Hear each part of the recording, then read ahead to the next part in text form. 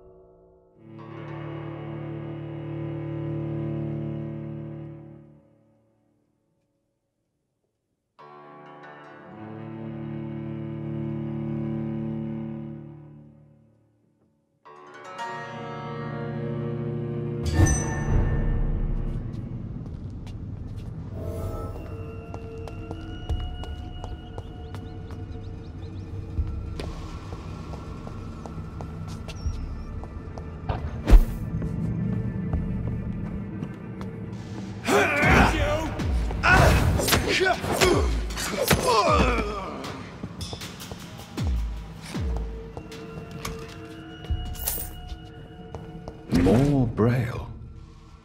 I should bring this to Mason Swanborough.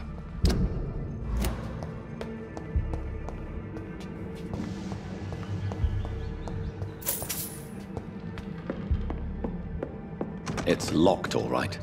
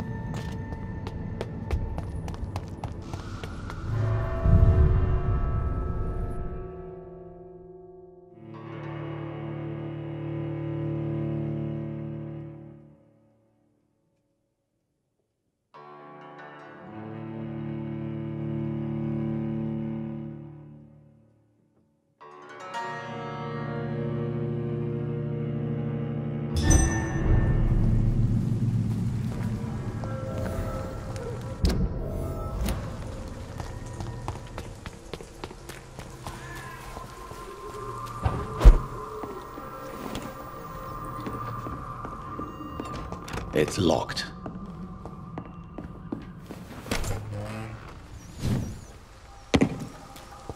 It's locked, all right.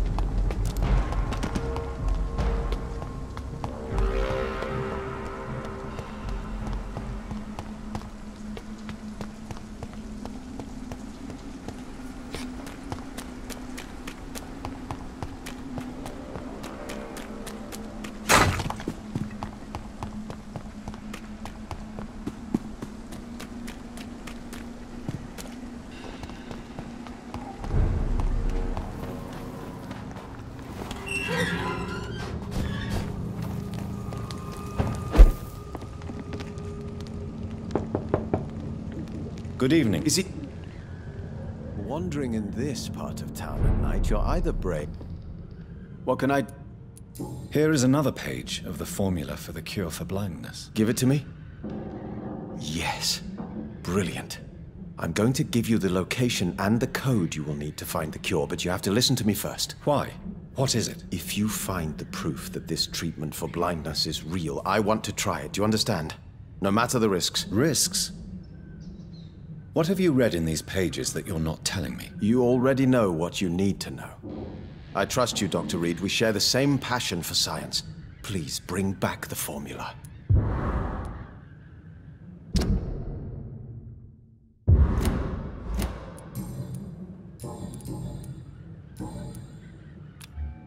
Goodbye, Mr. Wandering in this part of town at night, you're either brave or a fool.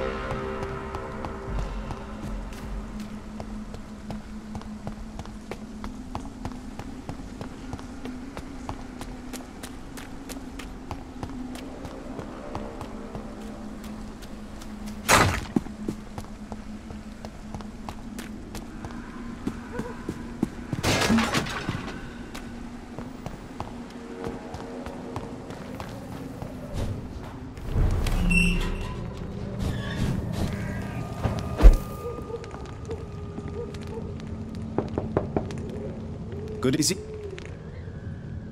What kind of gentleman pays visit? What can I do? I have found the secret laboratory, and I have the formula. And the author of the diary, did you meet him? Yes.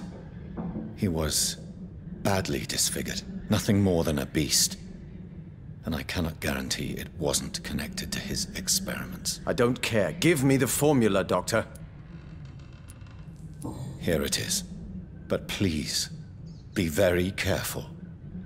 You're entering uncharted territories here. This is what science has always been about, Dr. Reid. Thank you, thank you so much. I can't say it's been a pleasure, but we're both scientists, and I am grateful you asked me to undertake this search for you. I have something for you, then.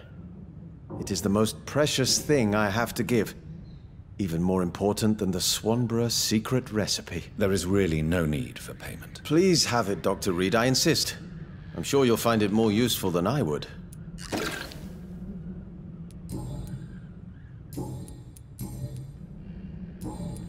Goodbye, Mr. Swanborough.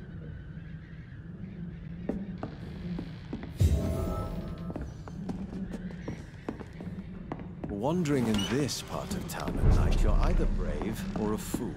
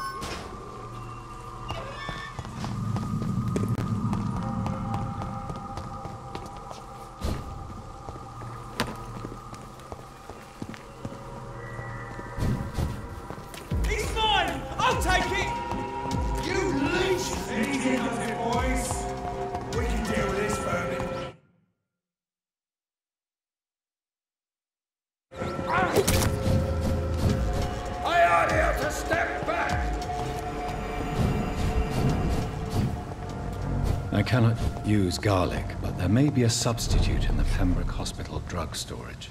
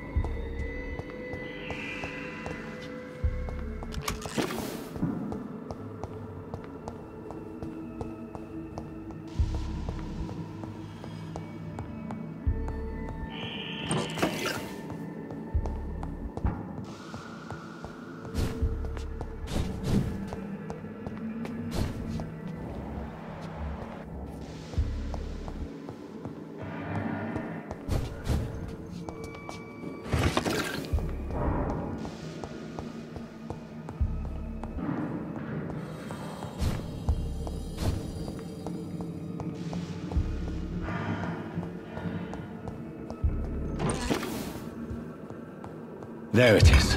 Insulin. Much more efficient than garlic against blood poisoning and sepsis, and much less dangerous for me. Thank you, Dr. Polescu.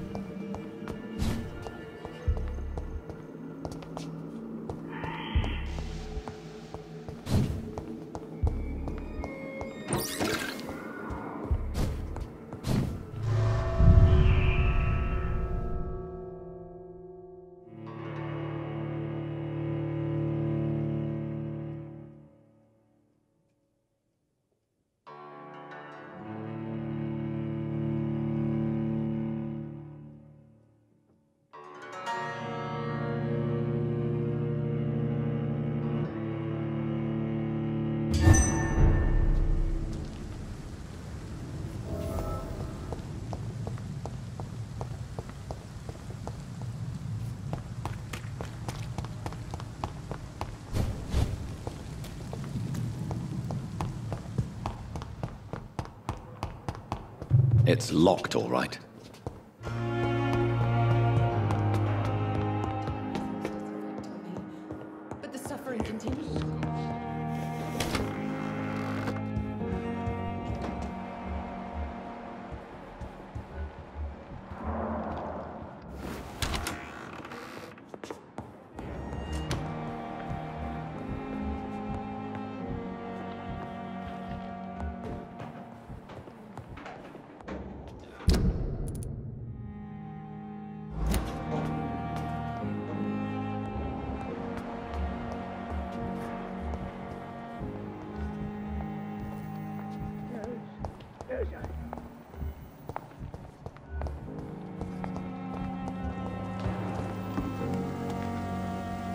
Good evening. Good evening. I'd like to see your... Wise choice.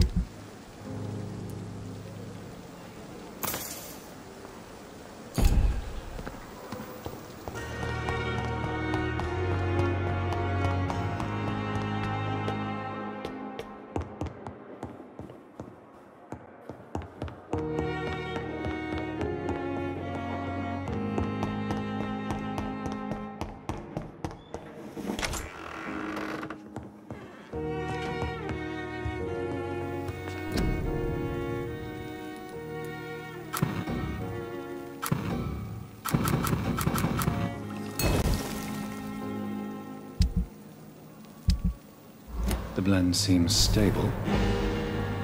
Time to go and find Harriet in the sewers.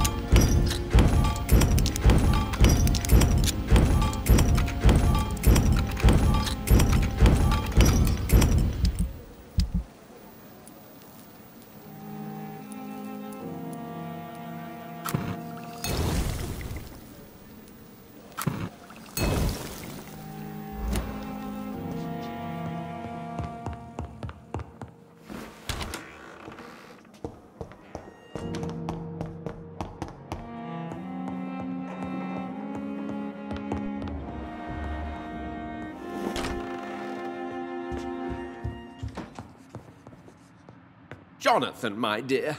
I can never thank you enough. Thank me. For what? Come now, you know what I mean. I am. Well, I'm just like you.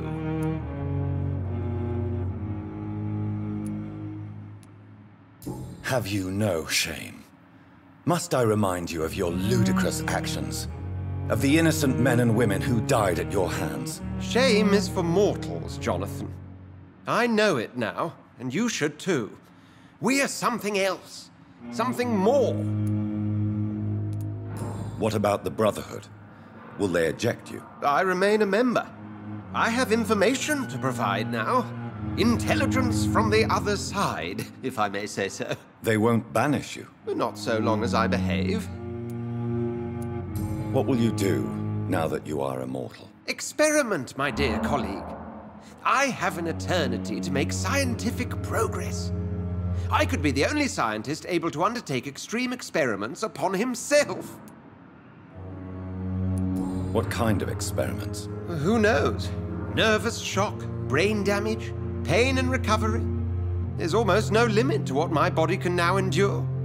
I could be the next Henry Head. My God, Edgar. Did you learn nothing from your forays into folly? I have, I swear. No more experiments on mortals. See? I said mortals. Uh, how quickly the mind adapts. Will you continue as Pembroke's administrator? Of course. I can help more than ever. And since I'm already dead, I can't get sick. Are you not afraid Priwen will find you? Next time, they will do more than abduct and torture you. I remain a man of peace.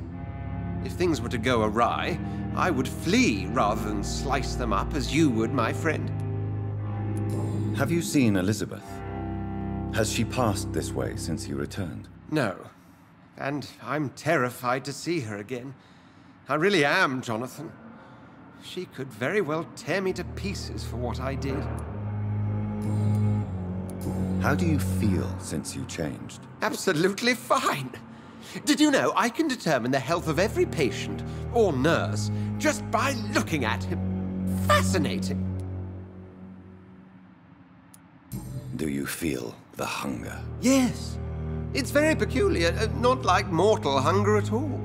It's like I'm never sated. Fortunately, blood is no rare commodity at Pembroke. Have you taken a life yet, Edgar? Don't you think that's a private matter? I would not ask you such an indiscreet question. Goodbye, Edgar. I'm certain we'll meet again.